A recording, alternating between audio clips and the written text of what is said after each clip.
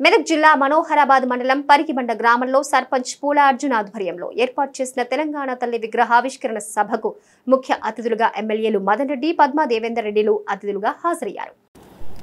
ఈ కార్యక్రమంలో మండల పార్టీ అధ్యక్షులు రమణగౌడ్ జిల్లా గ్రంథాలయ సంస్థ చైర్మన్ చంద్రగౌడ్ ఎంపీపీల ఫోరం అధ్యక్షులు కల్లూరి హరికృష్ణ మనోహరాబాద్ ఎంపీపీ పురం నవనీత రవి మనోహరాబాద్ మండల పార్టీ అధ్యక్షులు పూరం మహేష్ శివంపేట పీఎస్సీఎస్ చైర్మన్ వెంకట్రామిరెడ్డి శివంపేట మండలం మాజీ ZPTC Narayanagoud Manoharabad vice MPP Vithalreddy Atma committee chairman Gorra Venkatareddy Manoharabad MPTC Venkat Gouthajiguda sarpanch Venkatesh ఉప సర్పంచ్ రేణుకుమార్ తదితరులు పాల్గొన్నారు.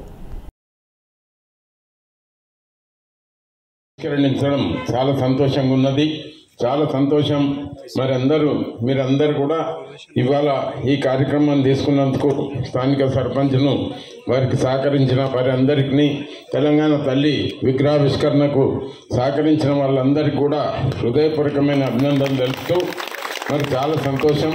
మరి ఇరవై రోజుల నుంచి కూడా మన ప్రతి కార్యకర్త మన నాయకులు మన అధికారులు కూడా ప్రతి ఒక్కరు కూడా సహకరించి మరి దశాబ్ది దినోత్సవాలను మరి ముఖ్యమంత్రి గారు ఏ విధంగా అయితే తలపెట్టిరో దానికంటే రెట్టింపుగా అందరు కూడా విజయవంతం చేసినందుకు ప్రతి ఒక్క నాయకునికి అధికారునికి ప్రతి ఒక్క సర్పంచ్కి కానీ పంచాయత్ మెంబర్లకు కానీ ఎంపీటీసీలకు కానీ ఎంపీపీలకు కానీ జడ్పీటీసీలకు కానీ ప్రతి నాయకులకు కూడా మరి సహకరించిన ప్రజలకు కూడా మరి రైతు దాంట్లో కానీ కట్ట పండుగలకు కానీ ప్రతి దాంట్లో కూడా మహిళల దినోత్సవంలో కానీ ప్రతి దాంట్లో కూడా విజయవంతం చేసి బ్రహ్మాండంగా మెదక్ జిల్లా తెలంగాణ రాష్ట్రంలో కూడా బ్రహ్మాండంగా అన్ని కార్యక్రమాలు కూడా జరుపుకున్నాం.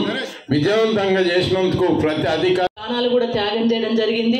కేసీఆర్ గారు ఆమరణ నిరాహార దీక్ష చేసిన సందర్భంలో తెలంగాణ ఇచ్చినట్టే ఇచ్చి మళ్ళీ తీసుకుంటే చాలామంది విద్యార్థులు తనకు తెలంగాణ రాదేమని ఒక బెంగ కొద్ది కూడా చాలామంది ఆత్మహత్యలు చేసుకొని అప్పుడున్న ప్రభుత్వాన్ని మెడలు వంచి మా తెలంగాణ మాకు ఇచ్చేయని చెప్పేసి మరి అమరవీరులు కోరుకోవడం జరిగింది. వాళ్ళ తల్లుల్లో కూడా చాలామంది తమ కొడుకులను కోల్పోయినప్పటికీ కూడా ఆ అమ్మలు నా కొడుకును కోల్పోయినా కానీ ఇంకెంతో మంది కొడుకులకు మరి తెలంగాణ రాష్ట్రం రావాలని కోరుకుంది కాబట్టి నా కొడుకు ఆశయం నెరవేరాలని చాలా మంది తల్లులు కూడా కోరుకోవడం జరిగింది.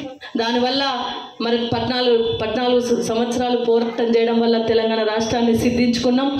మరి వచ్చిన తెలంగాణను తెరలు చేసుకోవద్దని మన గౌరవ ముఖ్యమంత్రి గారు అనేక సంక్షేమ అభివృద్ధి కార్యక్రమాలు చే- చేపట్టడం జరిగింది. ఏదైతే మనకు బాగా పట్టి పీడిస్తున్న సమస్యలు ఉన్నాయో తెలంగాణ రాష్ట్రాన్ని గతంలో ఎవ్వరు చేయలేని ఎన్నో ప్రభుత్వాలు వచ్చిపోయినాయి కానీ తెలంగాణకు మంచి చేయలే.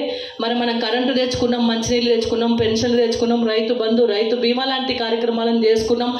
ఊర్లో పల్లె ప్రగతి ద్వారా మంచిగా చేసుకున్నాం. పట్టణ ప్రగతి ద్వారా పట్టణాలు మంచిగా చేసుకున్నాం. అంతకుముందు అనారోగ్యం పాలైదు ఉంటుంది వర్షాకాలం వచ్చిందంటే పల్లెల పల్లెల్లో ఈగలు దోమలు అనేక మురికి చెత్త చెదారం ఉంటుండే ఈరోజు పల్లెలన్నింటి కూడా బాగు చేసుకున్నాం. ఒక్కసారి యాద్ చేసుకోండి.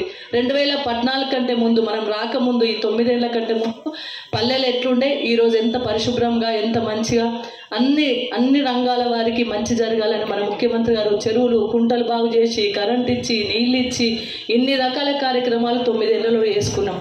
అదేవిధంగా అమరవీరులకు కూడా వాళ్ళ కుటుంబాలను ఆదుకోవడం కోసం పది లక్షల రూపాయలు వాళ్ళకి ఇచ్చి వాళ్ళకు మరి ఈరోజు హైదరాబాద్ నగరంలో స్మృతి జ్యోతిని కూడా ఈరోజు అమరవీరుల స్మారకార్థం మనం గౌరవ ముఖ్యమంత్రి గారి చేతుల మీద ఇనాగ్రేషన్ చేసుకోబోతా ఉన్నాం.